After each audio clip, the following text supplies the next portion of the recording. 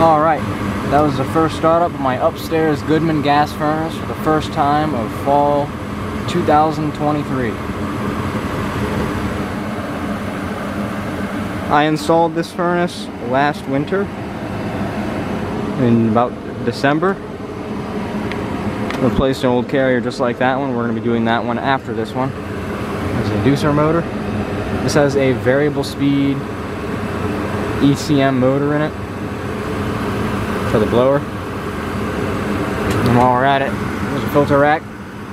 The old one did not have a filter rack, so that was an addition. It's really convenient to have. Filter's brand new.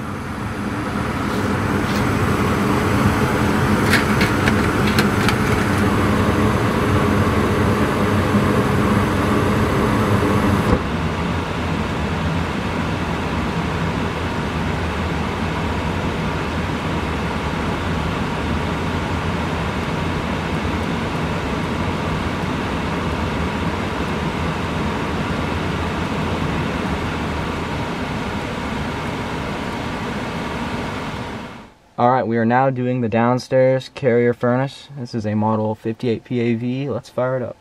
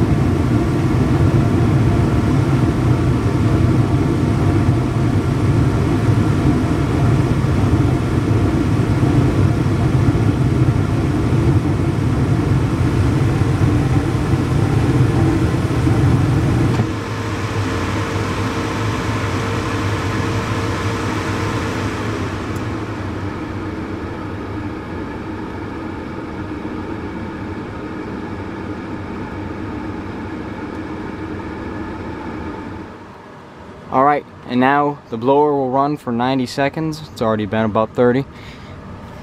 The nice thing about these carriers is these panels here, they just slide on. They have a handle on them. Alright.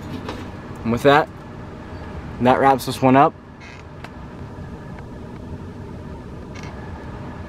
And with that, and around the corner, another heating season begins. It's not, it's still got some days in the 70s, so I'm sure the air will be back on, but starting to cool off for real.